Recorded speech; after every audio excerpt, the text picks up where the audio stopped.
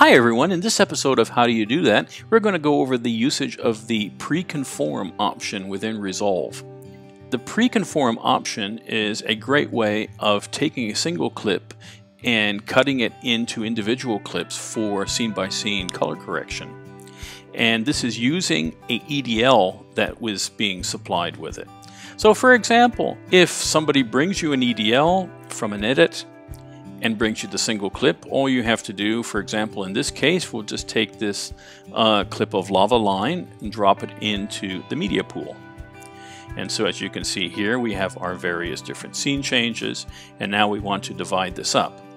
So what we do next is we come up to File, and then we select here Import Timeline, Pre-Conformed EDL,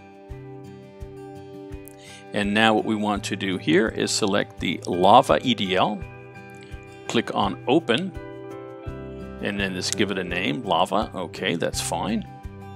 So now what happens is that if I come over to the Edit page, and then select my thumbnails like so, and my audio and everything like that, I can see here I now have all the clips separated and then I can just proceed directly to the color page and I can do my scene by scene color correction.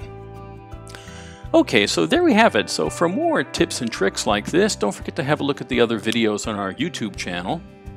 And for more information about our training services, have a look in the comments below. Thanks and have a great day.